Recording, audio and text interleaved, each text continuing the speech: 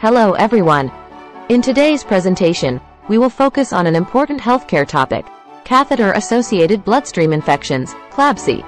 These infections are a significant concern for patients with central venous catheters and can lead to severe complications.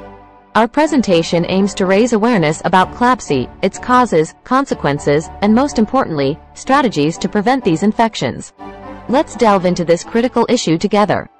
CLABSI is a serious bloodstream infection that occurs when bacteria or other pathogens enter the bloodstream through a central venous catheter. Central venous catheters are frequently used in hospitals to deliver medications, nutrients, or fluids directly into large veins, but they can also become a source of infection. CLABSI poses a significant risk to patient safety and outcomes, leading to prolonged hospital stays, increased healthcare costs, and higher mortality rates. Patients with CLABSI may experience systemic infections, sepsis, and other severe complications, especially those with weakened immune systems.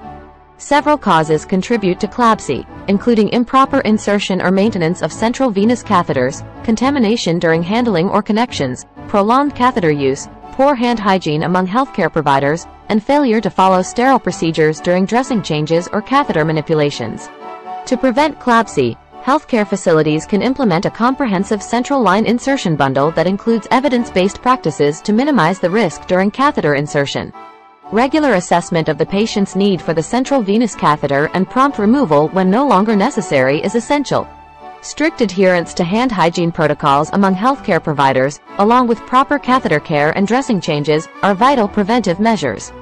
Using antiseptic caps and connectors on the catheter hubs can reduce the risk of contamination during manipulations.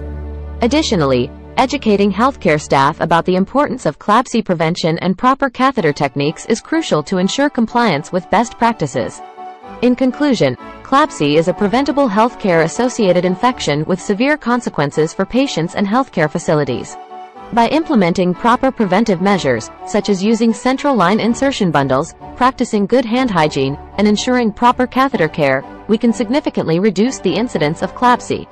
It is crucial for healthcare providers, administrators, and patients to work collaboratively to promote a culture of safety and infection prevention, ultimately protecting patients from this preventable and potentially life-threatening infection.